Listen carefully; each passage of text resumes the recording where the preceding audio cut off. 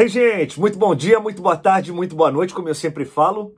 Eu não sei a hora que você está assistindo esse vídeo, mas é muito bom ter você aqui comigo. Olha só, você sabe que aqui a gente fala sempre sobre o mundo dos famosos. Tem notícias boas, outras nem tão boas, mas esse meu compromisso com você é de sempre falar o que anda acontecendo na TV e nos bastidores dela. E infelizmente, eu venho aqui trazer a notícia para vocês da morte do apresentador Silvio Lancelotti. Ele que passou pelas mais diversas emissoras de TV. O Silvio Lancelotti, que eu, quando era pivetinho, o vi também cozinhando, mas ele também era comentarista esportivo. Infelizmente, aos 78 anos, a TV brasileira perde o Silvio Lancelotti. Ele morreu hoje aos 78 anos em São Paulo. Ele estava internado na unidade de terapia intensiva do Hospital São Paulo, que fica localizado aqui em São Paulo depois de sofrer uma parada cardíaca.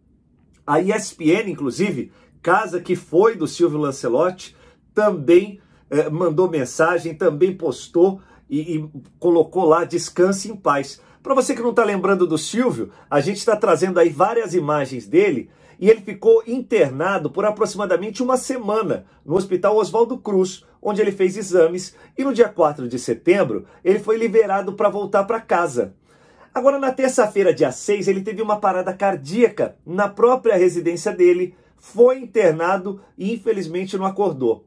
Ele estava no portal R7, onde trabalhava desde 2002. Silvio, torcedor do Corinthians e do Juventus da Itália, foi uma referência na cobertura de futebol internacional, diz o All Sports. Ele era formado em arquitetura e era jornalista por paixão, como descreveu no seu perfil, e trabalhou em oito edições da Copa do Mundo em veículos como TV Bandeirantes, ESPN e tantas outras com suas participações na culinária.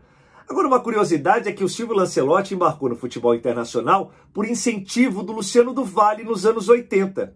Eles ficavam conversando sobre o futebol italiano num almoço despretensioso, e aí o próprio Luciano do Vale sugeriu para que ele fosse o comentarista do campeonato italiano pela Band. Aliás, foi lá que ele emplacou uma dupla com o Silvio Luiz e ficou 11 anos na Bandeirantes. Oito Copas no currículo.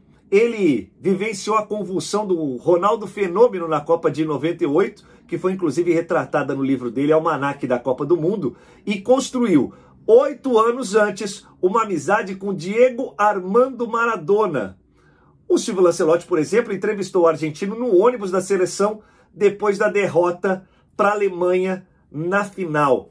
O G1 também fala que o Silvio Lancelotti participou das equipes inaugurais das revistas Veja, Isto É, e dirigiu a revista Vogue e foi cronista de esportes e gastronomia da Folha e do jornal Estadão. Na televisão, ele começou em 1984 e teve passagens pelas principais emissoras de TV, entre elas TV Gazeta, TV Manchete, Band, Record e ESPN, além de apresentar 5 mil programas de culinária, outra das suas especialidades.